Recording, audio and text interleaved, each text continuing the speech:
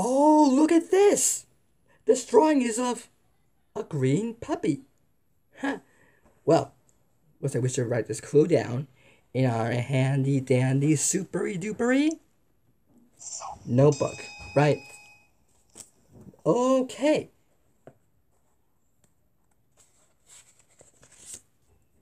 Hmm, you know, I think I'll use this green crayon instead of this black one.